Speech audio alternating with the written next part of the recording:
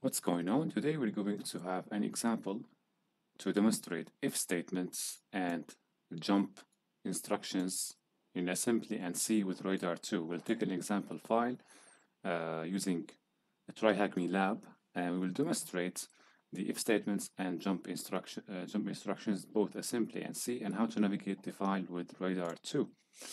So basically in assembly or, or in general there are something called conditional statements. The conditional statements in assembly are different than in C, as you know.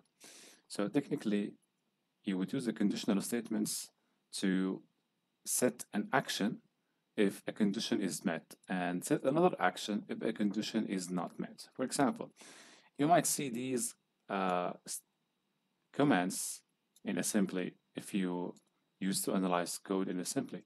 So technically, you have the jump. Jump is an unconditional, uh, uh, you know, condition, not conditional statement. It's listed as a conditional statement, but actually, it executes the instruction with no conditions. So it's not conditional. So whenever you see a jump in an assembly code, it means that it will jump to the address that's written right beside it to execute the command at that address.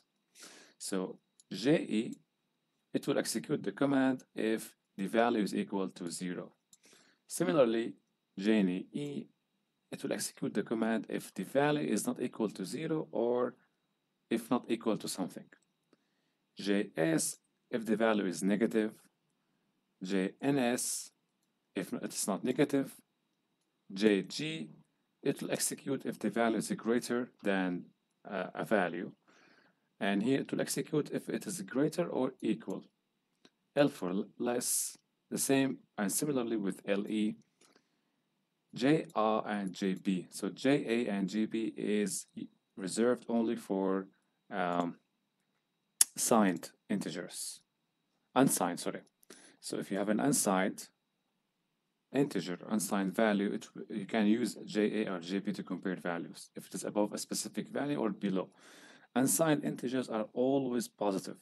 There is no value. There is no sign, uh, which is the opposite of signed integers, which contains negative and positive using the two's complements in binaries. Now, we will use an example from TryHackMe to analyze a file and demonstrate how conditional statements work. But before doing that, let's analyze the methodology or understand how to analyze files with Radare2. So basically we use the first command triple A. Triple A, this is the first command you would issue when you analyze a file. You want to radar to analyze the file, so this is your first command. PDF main will print the main function in a disassemble or yeah, disassemble the main function. So then you have the DR. DR is to display the register values. You want to know the register values before the execution of the program and you want to monitor the, the values of the registers throughout the execution. Then you have DP. DP is used to set breakpoints. So if you want to suspend the or halt the program execution at some point and examine the uh, variables and arguments, you would use DP at the desired point. DC would continue the execution to the next instruction. So normally you would use DP and then DC along together uh, through, throughout your analysis. Px is to print the value of a parameter. This would take one argument, which is the position of a parameter. Okay, enough talk. Let's jump right to the practice. So I'm using a material from TryHackMe, Advent of Cyber 1, uh, task 22, uh, day 22, task 27 and this is the given file and the description is saying hmm, McSkidy has been faring on well so far with the assembly. They got some inside knowledge that the Christmas monster is weaponizing if statements. Can they get ahead of the curve? These programs have been compiled to be executed on Linux x86 64. Check out the material, you can check it out here. The questions below relate to the if2 binary. So once you install, uh, once you download the file, there will be a file called F2 binary, which you will need to analyze with radar or any uh, disassembler of your choice. The questions are, examining the value of the first variable local 8h and the second variable is local 4h. So let's examine the value of these variables and we will use the knowledge of if statements in C and jump commands in uh, assembly to answer these questions. So first let's take a look at the files. So First we have, let me remove my board. Okay. So ls, so see we have if2, if1, c, and if1. So let's take a look at the nature of the first file, if1, 64-bit executable file, the same with f2, and I guess it is self-explanatory that this file is C file. Let's examine the C file.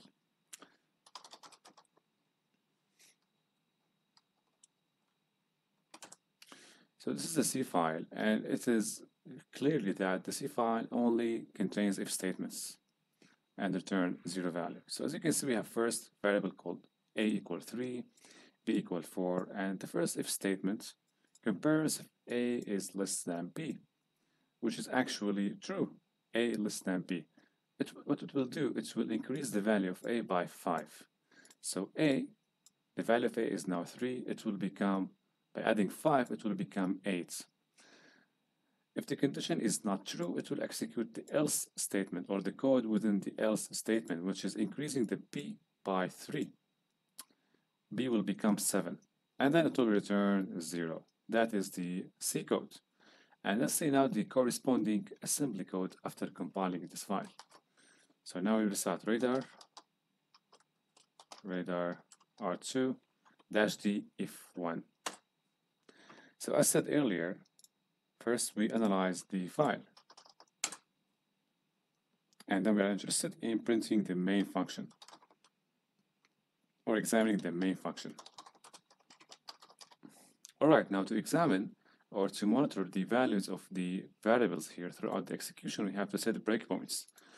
Setting the breakpoints at locations where we know that the values of these variables are going to change. So the first breakpoint will be here, the second breakpoint will be here.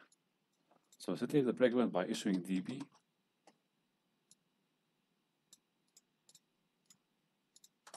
The next breakpoint is here.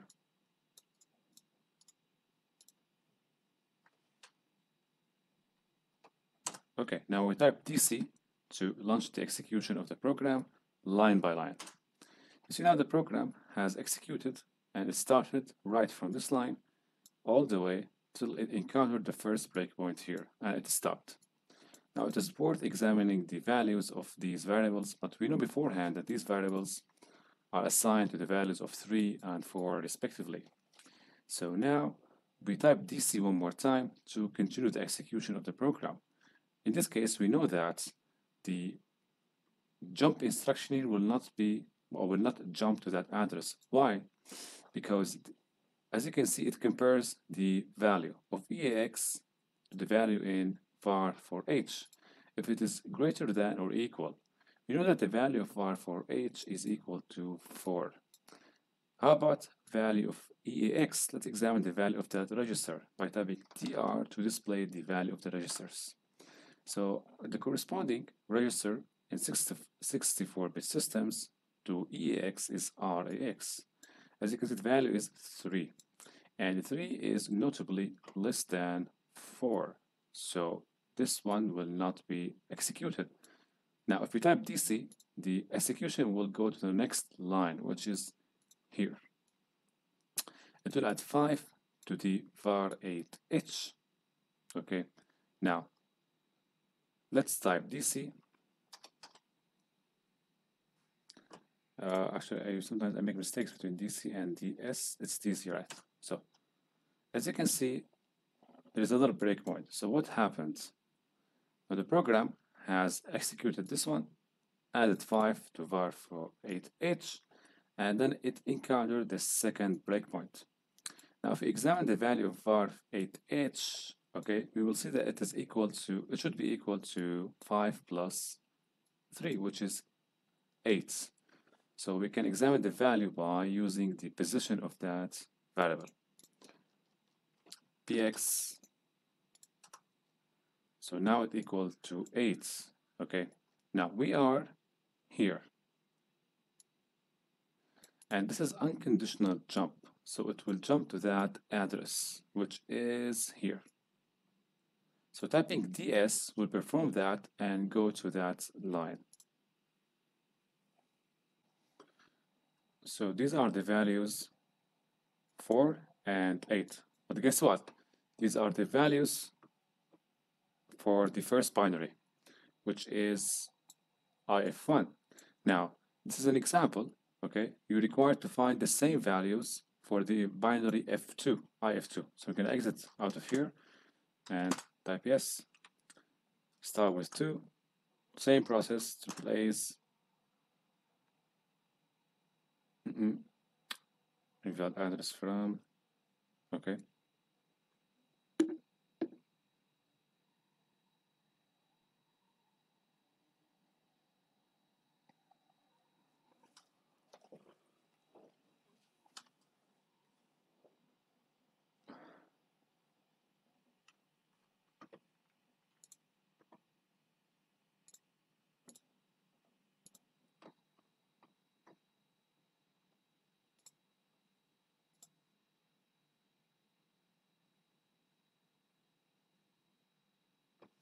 All right, PDF main.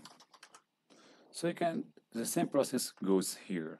Set breakpoint at this um, address, set a breakpoint here, and examine the values. The same way with if1.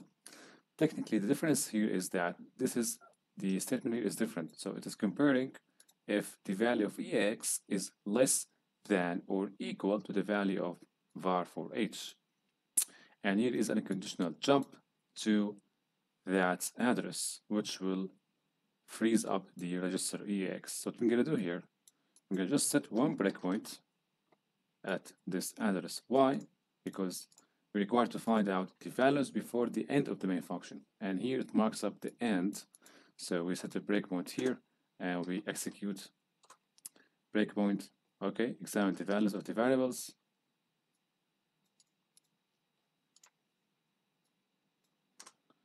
So we have 9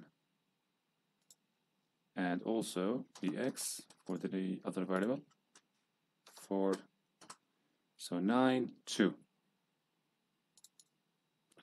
so technically here for 8h we have 9 and for local 4h we have 2